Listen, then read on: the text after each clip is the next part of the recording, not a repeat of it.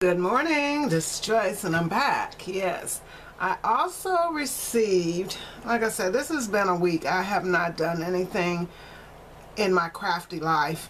Um, I received the August Yes Oh Yas and it is called Cali Love this month and it has a Beauty Creations Cali set palette and it tells you the cost of each item. It has a sewing blotting paper and it has a lipstick Lacroix and Company and then it has crown brush angle contour brush and uh, Masqueraid pre-party sheet mask. Uh, and it says the retail value is $94 for August. I love the card. And I am first going to show you the mask. It is a pre-party prep brighten prime and energize I love doing masks, so I can't wait to try this. Okay. And so, Masker Aid. okay. And it's supposed to be a hydrating facial sheet mask. So I've never used a sheet mask, but I'm looking forward to that.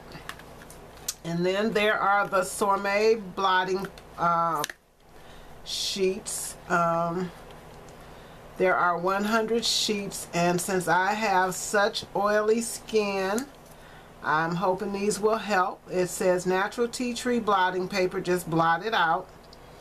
The final touch in an all-day perfect finish. Heal tired skin with naturally invigorating tea tree leaf oil and super absorbent natural pulp paper. So that's what it says and so I'm definitely looking forward to trying those. And then there is the lipstick which okay so I opened this okay that is the lips. Ooh I messed up. Yeah I kind of pulled lipstick off of there. I need to clean that. But this is it's not my color. Um, so I do have a friend who will probably like that after I clean it up. So but it is Lacroix and Company Cloud Lips. I don't want to stick that back in there. So for the moment I am going to lay that out of the way so I can clean the cap out. And then there is the Cali set. I love the packaging on this the colors are so pretty. And the eyeshadow colors are so pretty. I am looking forward to trying these. They have names like Cocktail, Calabash, Valley Girl, Hollywood, Delta, I don't know what that is, DTLA, Sassy, Melrose, Martini, and Westwood. And I love the colors and I can't wait. I'm really looking forward to doing this.